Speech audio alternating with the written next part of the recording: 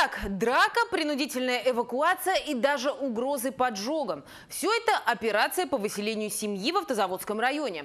Но обо всем по порядку. В семье Елены Ататышевой 11 человек. Муж, сестры, дети и внуки. Все вместе они живут в четырехкомнатной квартире в Автозаводском районе, которая досталась им от родителей. Но оказалось, что на это жилье претендует еще и родная сестра Елены, Татьяна, с которой они с детства практически не общались. Она обратилась в суд и добилась выселения всей семьи Ататышевых. Однако просто так покидать свою квартиру Елена не намерена. И судебных приставов ждала с подкреплением. На защиту стали все соседи и даже тяжелая техника. Человек 15-20 их приедет, КБР приедет. Что вы не могли попасть в подъезд, прикрыть двери, прям что вы... А что мне, у меня другого выхода нету, то есть мы сами, своими силами не можем удержать, то есть ну хоть как-то пытаемся. Мы здесь выстроили, мы никого не пустим, кто приедут сейчас на выселение, делать выселение. Это все наши соседи, это все наши соседи. Всю жизнь, которые здесь все, никто не пройдет. Вот с той стороны у нас все забаррикадировано. Палку закрыли, кресло подвинули, чтобы не вошли в квартиру. Вот так вот мы живем. Вот здесь у меня сын с двумя ма- малышами живет.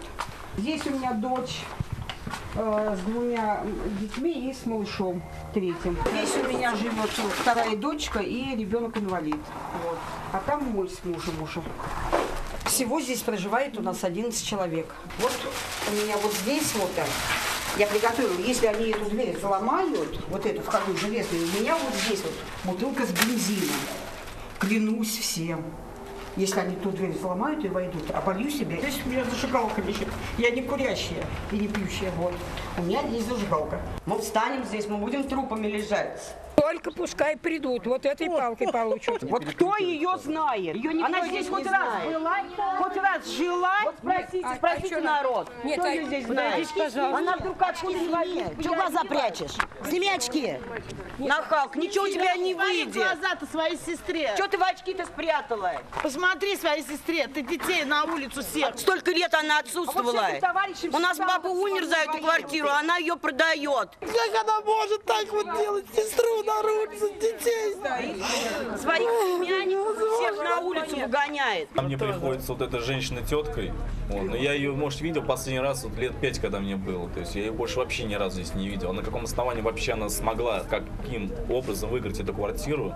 То есть, ну это вообще никому не известно. А потому что меня сюда в квартиру никто не пускал. Они не пускали меня в квартиру. Пришлось подать в суд. И суд решил, принял решение. Вам не жалко? Жалко.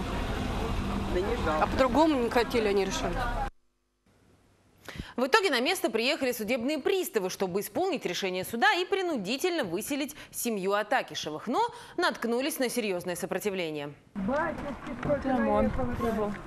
Ой, не стыдно с нами связываться. Кошмар. А граждане по какому поводу собрались? Это все нелегально. Это решение, оно вынесено от имени Российской Федерации, от имени государства. А так Вот это это оно и и есть, так и есть. Какой это закон? Не говорите. Одной четырехкомнатную, а всех детей маленьких на улицу. Расходимся, машину убираем отсюда, иначе будут вызваны органы полиции. За нарушение правил дорожного движения она будет, возможно, эвакуирована.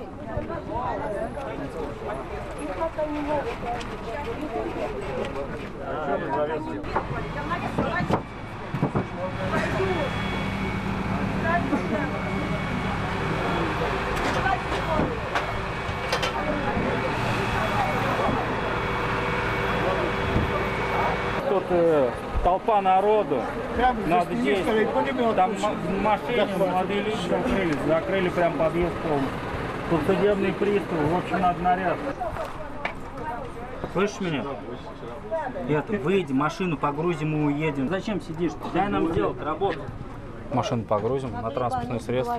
Поступила заявка. Сейчас машину мешает проезду в дом. Сейчас огонь, убирай, убирай. Хозяин, убирай. Ну это нарушение, вы берете машину хозяин. Хозяин, ты здесь. Отойдите, отойдите, отойдите. Вот хозяин.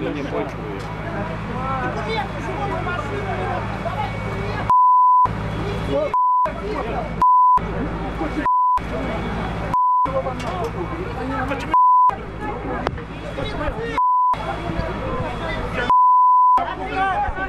надо говорить, он не нарывается. Не лезь на него, не лезь. Уважаемый, сколько раз говорить? Не надо кричать. Не надо.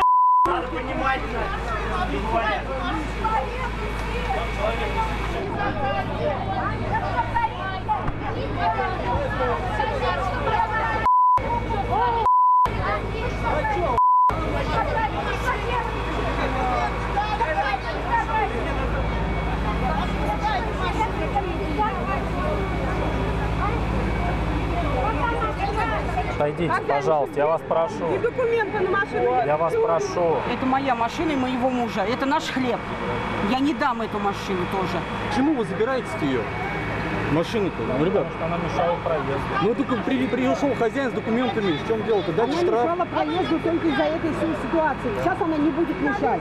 Он пошел за бензином, он сейчас подождет ее. Квартиру все. Я так и сделаю, я так и сделаю. Выхода нету другого. Ни, ни, ни старшей дочери отца нашего. чё, ему- Значит, и не ей. Ну Она всё. вообще никто. Ну все, потеряем. Но в итоге до крайних мер, как ни странно, так и не дошло. Несмотря на такой накал страстей, дело закончилось примирением. Я все, я не могу. Вот это вот все смотреть, я уже не могу.